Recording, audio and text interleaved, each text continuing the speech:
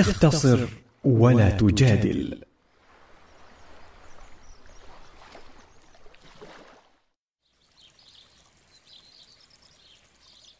يقولون إن الناصح كالجلاد وبقدر مهارة الجلاد في الجلد يبقى الألم. لاحظ أقول مهارة الجلد لا قوة الجلد. فالجلاد العنيف الذي يضرب بقوة يتألم المضروب وقت وقوع السياط. ثم ما يلبث حتى ينساها. أما الجلاد الأستاذ في صنعته فقد لا يضرب بقوة لكنه يعلم أين يوقع الصوت. كذلك الناصح. ليست العبرة بكثرة الكلام ولا طول النصيحة وإنما بأسلوب الناصح فاختصر قدر المستطاع. إذا أردت أن تنصحه فلا تلقي عليه محاضرة خاصة إذا كان الأمر متفقا عليه كمن تنصحه عن الغضب أو شرب الخمر أو ترك الصلاة أو عقوق الوالدين. تأملت النصائح النبوية الشخصية المباشرة فوجدتها لا تزيد الواحدة منها على سطر واحد أو سطرين. اسمع. يا علي لا تتبع النظرة النظرة فإن لك الأولى وليست لك الثانية. انتهى نصيحة باختصار. يا عبد الله بن عمر كن في الدنيا كأنك غريب أو عابر سبيل. انتهى. نصيحة باختصار. يا معاذ والله إني أحبك فلا تدعن في دبر كل صلاة أن تقول اللهم أعني على ذكرك وشكرك وحسن عبادتك. يا عمر إنك رجل قوي لا تزاحم عند الحجر. وكذلك كان العقلاء بعده صلى الله عليه وسلم يختصرون في نصائحهم. لقي أبو هريرة رضي الله عنه الفرزدق الشاعر فقال يا ابن أخي إني أرى قدميك صغيرتين ولن تعدم لهما موضعا في الجنة. يعني فاعمل لها ودع عنك قذف المحصنات في شعرك. وعمر رضي الله عنه كان على فراش الموت فجعل الناس يدخلون عليه تباعا يودعونه ويثنون عليه. وجاء شاب فقال أبشر يا أمير المؤمنين ببشرى الله لك من صحبة رسول الله صلى الله عليه وسلم وقدم في الإسلام ما قد علمت. ثم وليت فعدلت ثم الشهادة.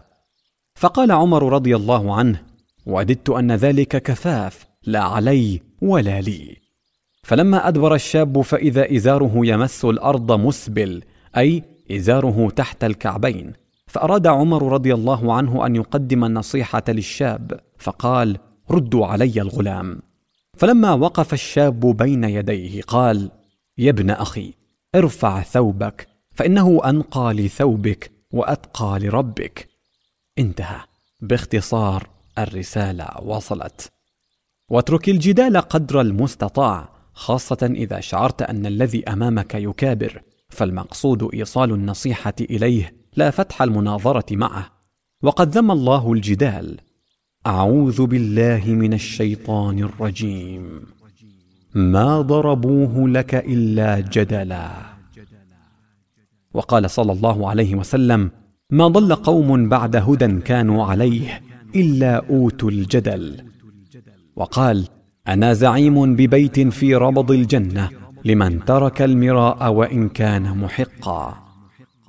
أحيانا يقتنع الشخص بالفكرة لكن أكثر النفوس فيها أنفة وكبر. كما قال تعالى عن فرعون وقومه لما عرفوا الحق وصدقوه بقلوبهم لكن منعهم الكبر من اتباعه. أعوذ بالله من الشيطان الرجيم. وجحدوا بها واستيقنتها أنفسهم ظلما وعلوا. فالغاية عندك أن يعرف المنصوح الخطأ ليتجنبه في المرة القادمة. وليس الغاية أن تنتصر عليه فلستما في حلبة مصارعة. دخل النبي صلى الله عليه وسلم على علي وفاطمة رضي الله عنهما ليلا فقال لهما ألا تصليان؟ أي ألا تقومان الليل؟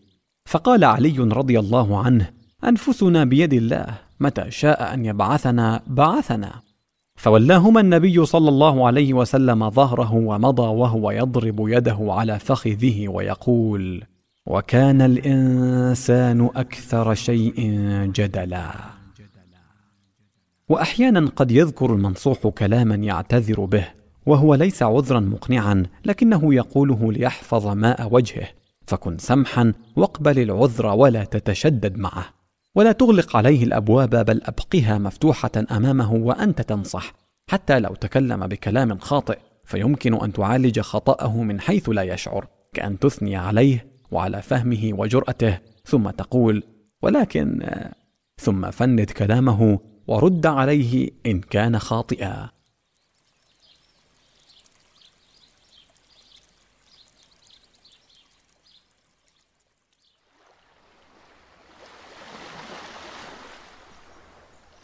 وجهة نظر. نبه على الخطأ باختصار ولا تلق محاضرة.